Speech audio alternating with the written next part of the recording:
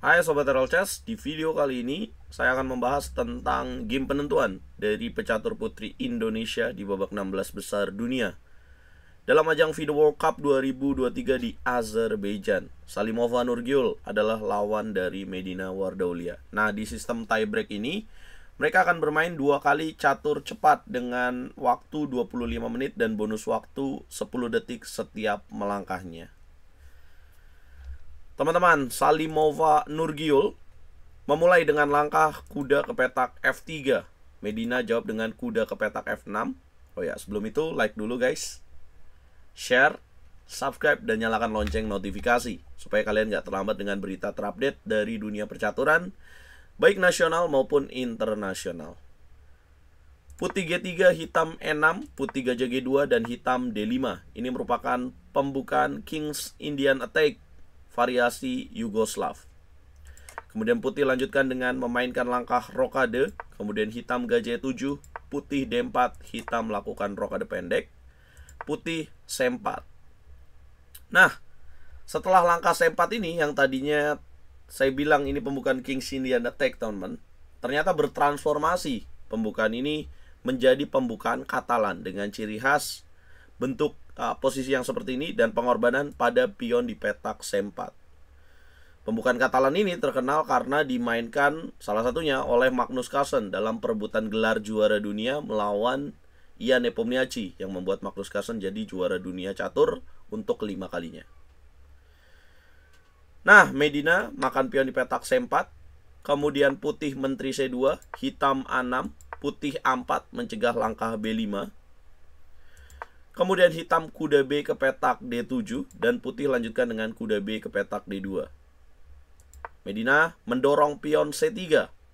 Putih pion B makan C3. Nah, apa yang uh, ide dari Medina untuk mendorong pion C3 ini?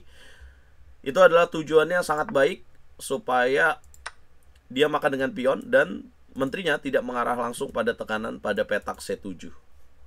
Dan juga selain itu, secara struktur pion jadi pecah nih pion putih yang pion A4 sama C3.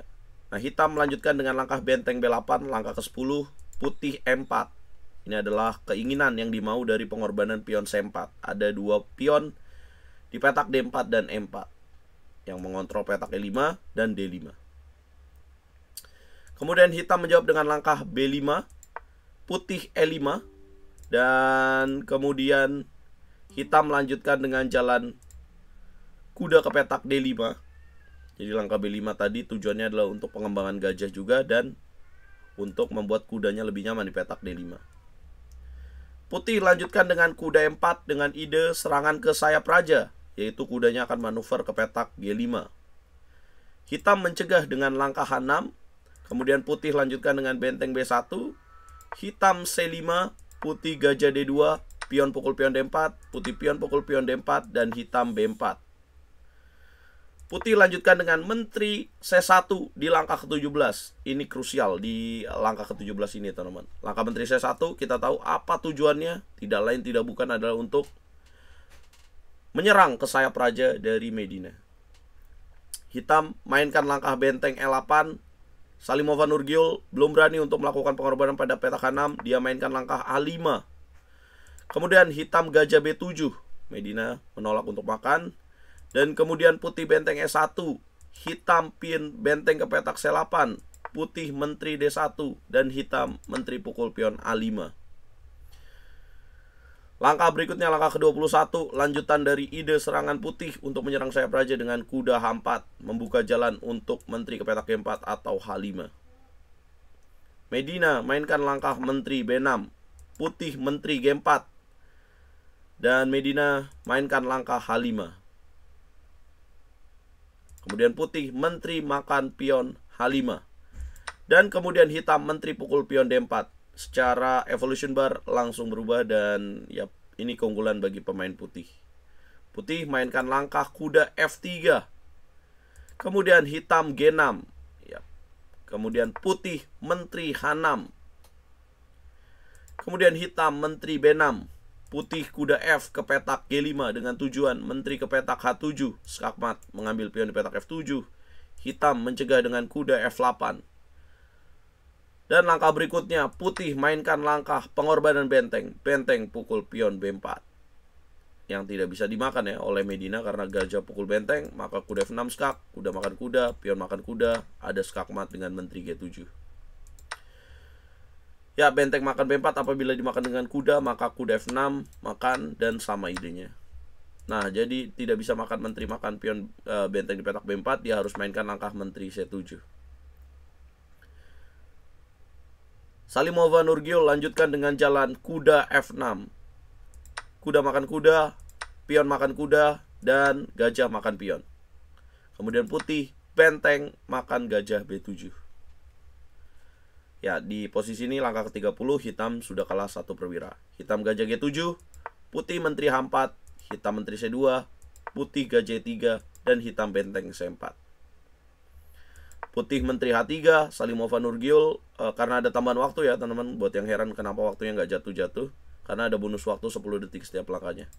Hitam benteng C7 kemudian putih benteng C1 menteri makan benteng gajah makan menteri benteng makan gajah dan gajah F1 hitam mainkan langkah F6 putih kuda F7 hitam kuda H7 putih kuda H6 hitam raja ke petak H8 dan putih kuda F7 raja G8 kuda D6 hitam mainkan langkah kuda G5 dan putih benteng makan gajah raja makan benteng kuda makan benteng raja F7 menteri H8 kuda E4 menteri H7 skak raja makan kuda menteri makan pion G6 dan menteri makan pion M menteri makan kuda E4 A5 menteri B7 yap hitam menyerah Teman-teman, itulah yang terjadi 47 langkah ya, teman-teman. Dan sebenarnya kalau ngebahas pecatur Indonesia kala nih, saya juga nggak semangat, teman-teman.